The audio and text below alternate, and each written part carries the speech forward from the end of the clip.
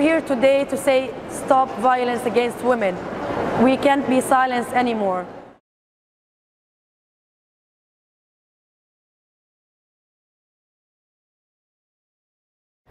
I really, what I would like to have women worldwide is one to say that our our causes are more common than they are not. Uh, I think that we have a lot of things um, that are, our, our our battles are very similar, and that we should all listen to, to one another and take strength from each other rather than um, divisions.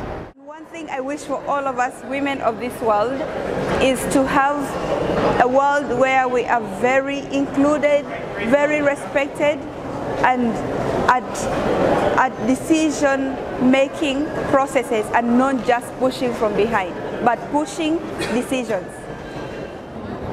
يعني أنا بدي أحكي للنساء بكل موا... مواقع النزاع وللنساء الفلسطينيات إنه يعني ما نفقد الأمل إنه يتم الأمل موجود لأنه إحنا نسلط الضوء على قضايانا. أريد من النساء أنهم يكونوا نشيطات في المجتمع المدني ومكافحات في مجال السلم والأمن في العالم. And as a young South Sudanese woman, I want to see peace in my country. I want to see more women involved um, in the peace processes, not just at the grassroots.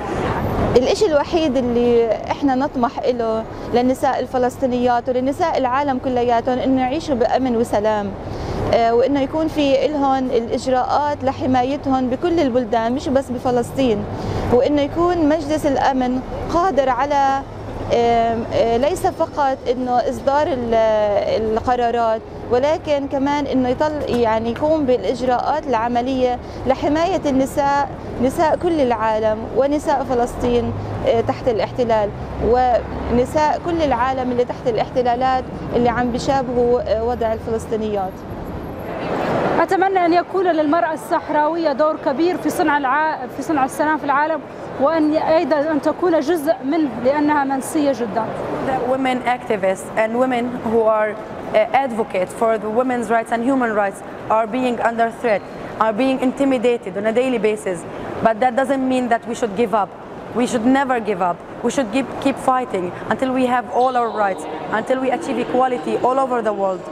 It also broke my heart to hear that so many women are still being killed for the good work that they're doing in their communities.